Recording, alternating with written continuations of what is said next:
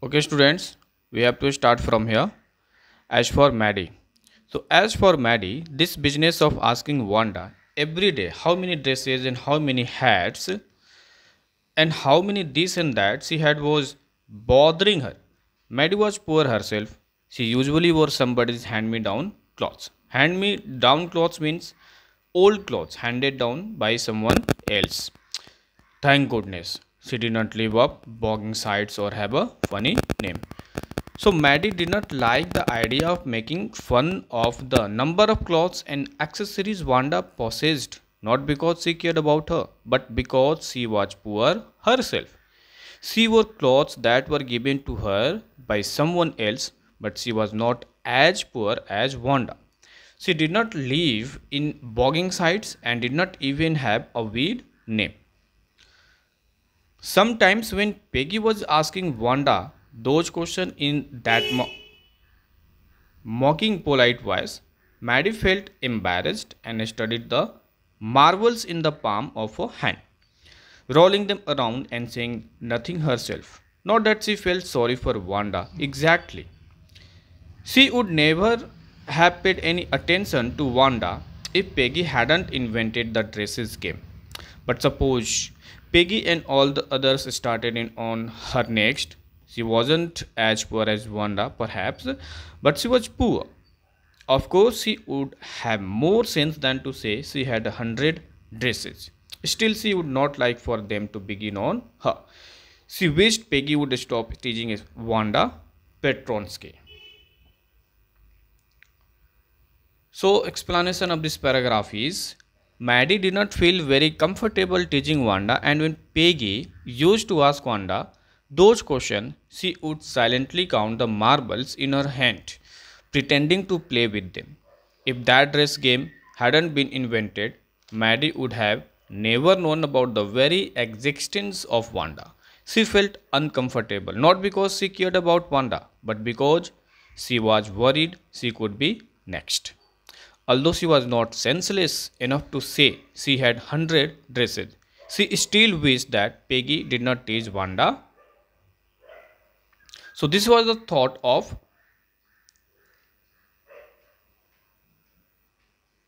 Maddie.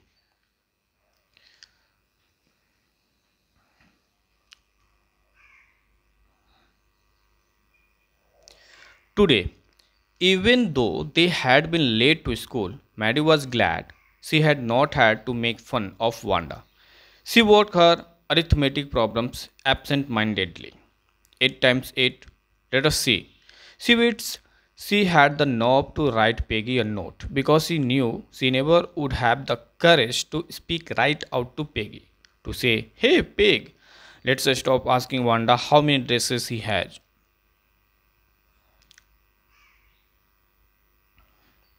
When she finished her arithmetic, she did start a note to Peggy. So Wanda didn't come that the day and after having waited for a long Maddie and Peggy got late for school. Maddie was secretly happy that they could not get a chance to make fun of Wanda. She was lost in her own thoughts and couldn't study properly. All this time she kept thinking about writing a note to Peggy telling her to stop making fun of Wanda, which she did write after finishing arithmetic.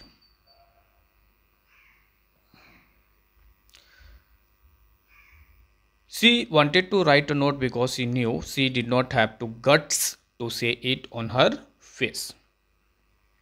Suddenly, she paused and shuddered. She pictured herself in the schoolyard, a new target for Peggy and the girls.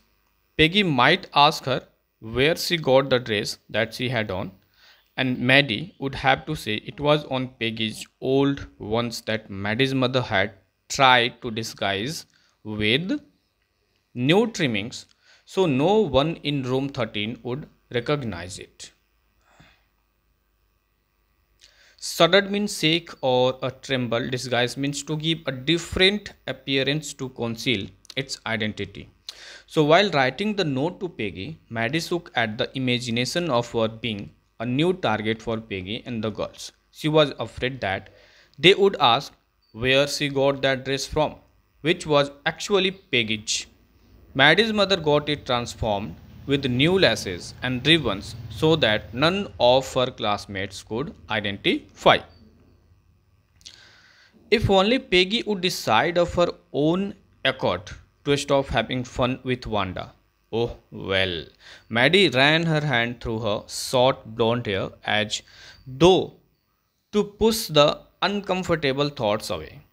What difference did it make? Slowly, Maddie tore into bits the note she had started. She was Peggy's best friend. And Peggy was the best liked girl in the whole room. Peggy could not possibly do anything that was really wrong, she thought.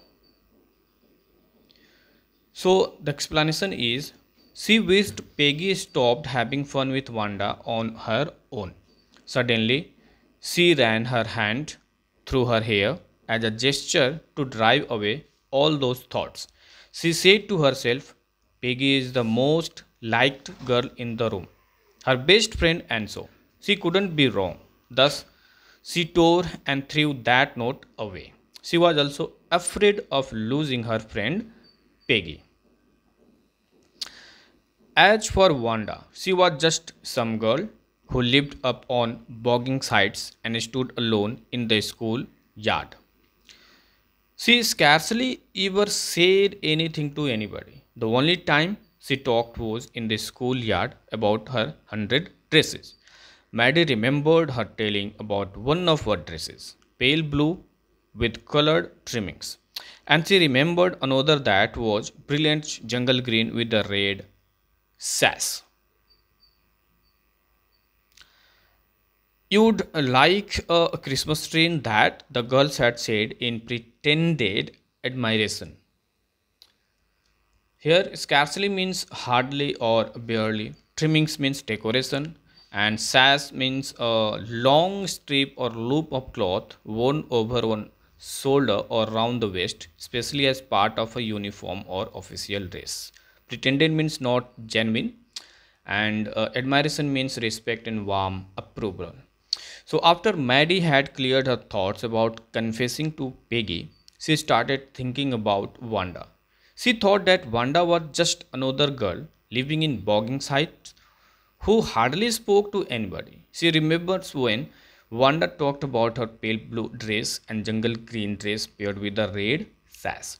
The girls made fun of her by saying that she would rather look like a Christmas tree in that dress.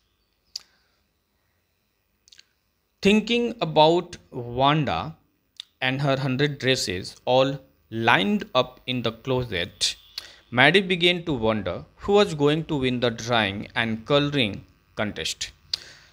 For girls, this contest consisted of designing dresses and for boys of designing motorboats. Probably Peggy would win the girls' medal. Peggy drew better than anyone else in the room.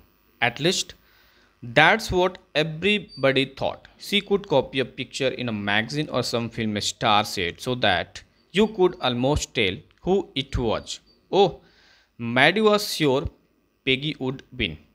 Well, tomorrow the teacher was going to announce the winners. They had no.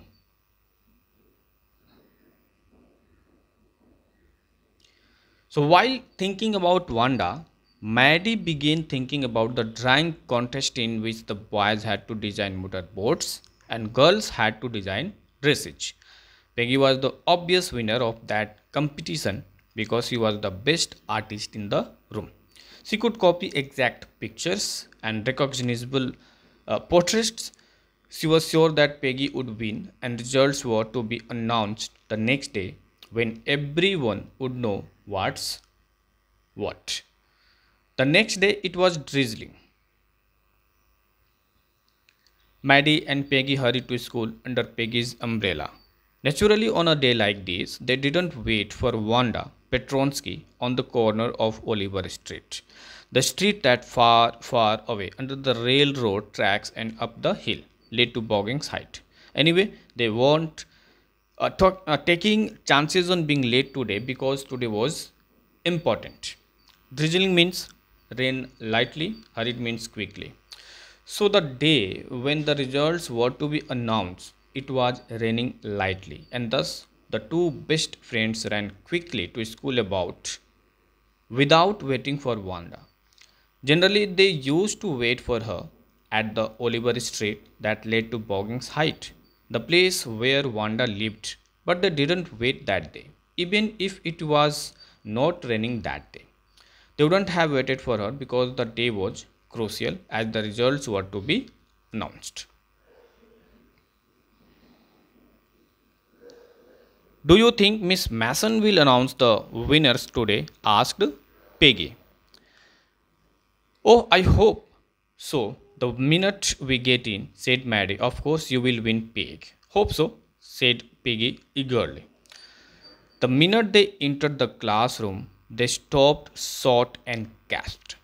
There were drawings all over the room, on every lace and window sill, dazzling colors and brilliant lavish designs, all drawn on great sheets of wrapping paper. There must have been a hundred of them, all lined up. These must be the drawings for the contest. They were. Everybody stopped and whistled or murmured admiringly.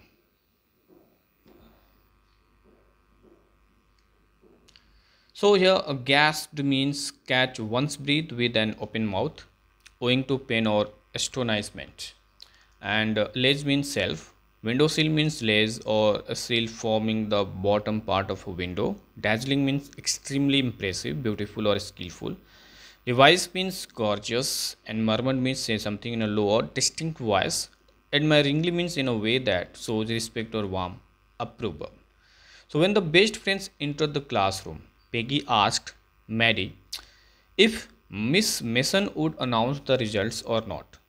To which Maddie said yes. Maddie told her that she believed Peggy would win, but to their utmost surprise, when they entered the class, there were drawings all over the room, bright and brilliant.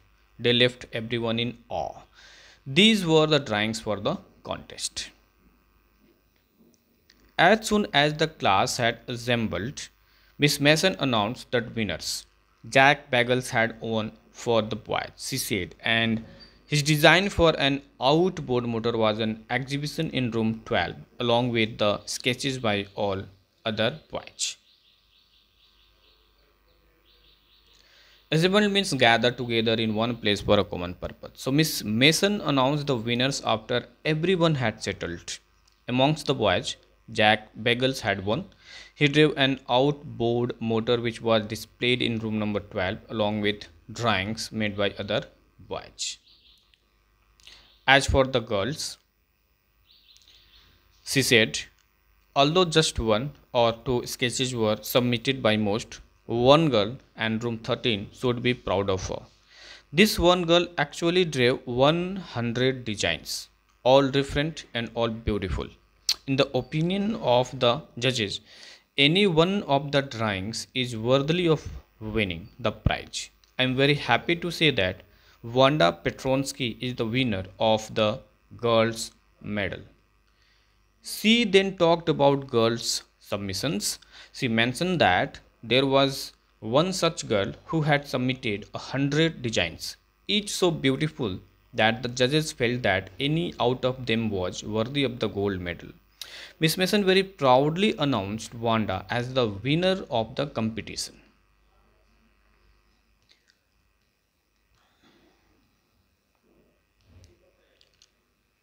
Unfortunately, Wanda has been absent from school for some days and is not here to receive the applause that is due to her. Let us hope she will be back tomorrow. And now class, you may file around the room quietly and look at her exquisite drawings. Exquisite means extremely beautiful and well made. The children burst into applause, and even the boys were glad to have a chance to stamp on the floor, but sorry, put their fingers in their mouths and whistle, though they were not interested in dresses. Look, Peg, whispered Maddie. That's just that's that blue one she told us about. Isn't it beautiful? Yes, said Paddy.